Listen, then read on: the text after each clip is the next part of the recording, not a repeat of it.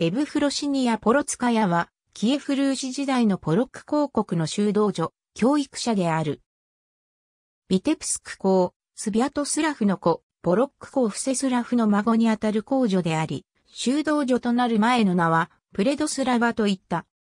1910年、帝政ロシアの政務会員により、劣勢された。ベラルーシでは、エブフロシニアは、キリラ・トゥーラウスキと並ぶ、最も尊敬される聖人の一人である。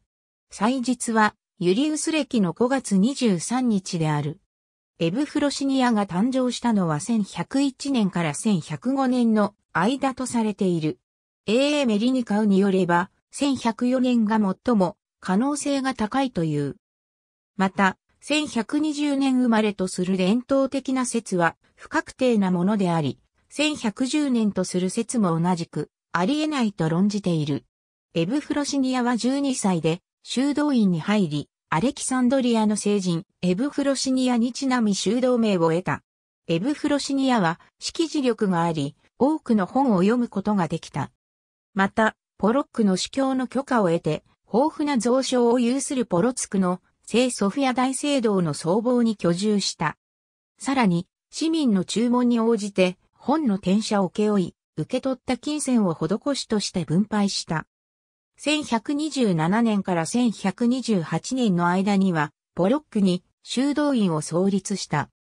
なおこの修道院では、エブフロシニアの影響を受けて、彼女の姉妹のゴレディスラバといとこのズベニスラバが停発している。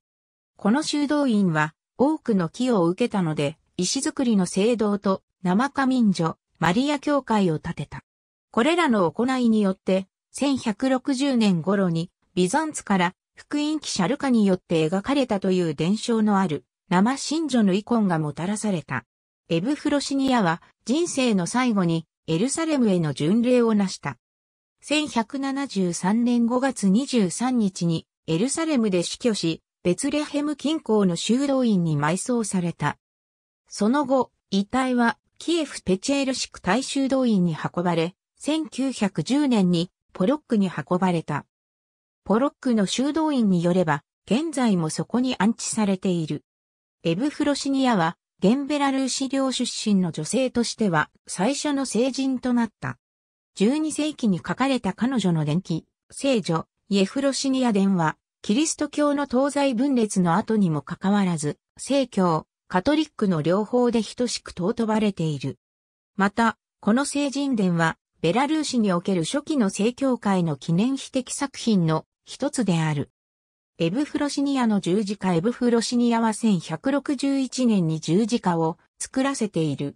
この十字架は13世紀までポロックにあったが、その後16世紀の初めまではスモレンスクに1514年にはバシリー三世によりモスクワへ運ばれた。1841年にポロックに戻ってきたが、第二次世界大戦中に紛失し、現在も行方不明となっている。この十字架はしばしばベラルーシ国民のシンボルとして使用されており、1991年から1995年までのベラルーシの国章の中に描かれている。1992年にレプリカが作られた。早坂まり、ベラルーシ境界領域の歴史学39ページ、等、45から47。35、AB 早坂まり、ベラルーシ境界領域の歴史学124ページ。早坂まり、ベラルーシ境界領域の歴史学125ページ。早坂まり、ベラルーシ境界領域の歴史学144ページ。ありがとうございます。